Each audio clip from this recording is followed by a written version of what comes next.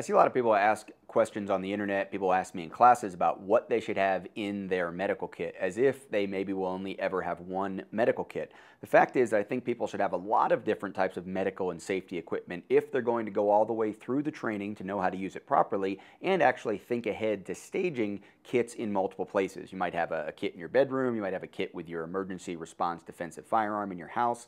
You may have a kit that you carry with you every day or just have something that you keep two or three things, a tourniquet, compression bandage, maybe hemostatic agent that you keep in a cargo pocket on your body.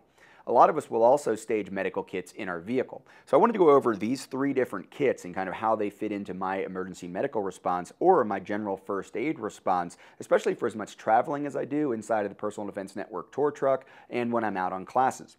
So this is the primary kit for emergency medical response. And this bag is just what I have for everyday medical needs. So if you think about bumps and bruises, if you think about things that aren't emergency but involve medicine, that's what this bag is going to be. So this is really a first aid kit. This is a health, uh, this is band-aids, things like that. This has some antiseptic wipes in it. There's going to be some regular over-the-counter type medicine. People have stomach problems. Uh, if I have a headache, something like that, I've got that. We've got eye drops, these kinds of things, cold pack. We've got that kind of a thing inside of this everyday bumps and bruises.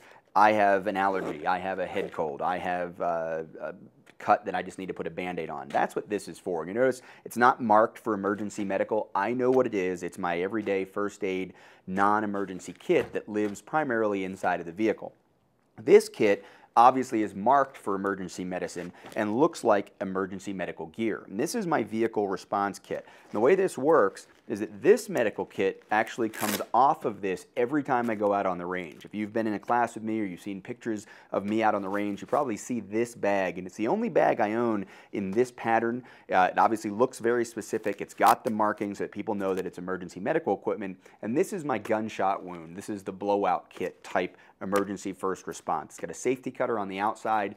Inside, we've got a compression bandage, we've got pressure dressing, we've got uh, chest seal, we've got a hemostatic agent. That's what this is for. This is for the immediate response to a gunshot wound on the range, and that's why I separate it from this bigger emergency kit and put it out on the range. Now, when I get done with a class, this gets back attached to it, and this larger kit has additional tourniquets, and inside, it's got some of the what I would consider higher level emergency medicine. When, when this is put together, this is what I think of as grabbing if I have to leave my vehicle, if there's a, a problem, if there's a natural disaster, if a building has collapsed, if there's been some kind of a, a large scale multiple person injury situation and I feel compelled to respond or I want to be able to provide medical equipment, this is what's going to go with me when I leave that vehicle. So in addition to tourniquets, we've got um, a lot of additional compressed gauze here for, for in terms of soaking up blood if there's a lot lot of injuries, lacerations, uh, kind of blunt trauma that's done in vehicle accidents. If I see a car, you know, flip over in front of me on the interstate and I'm compelled to help, these are the kinds of things that I want to have.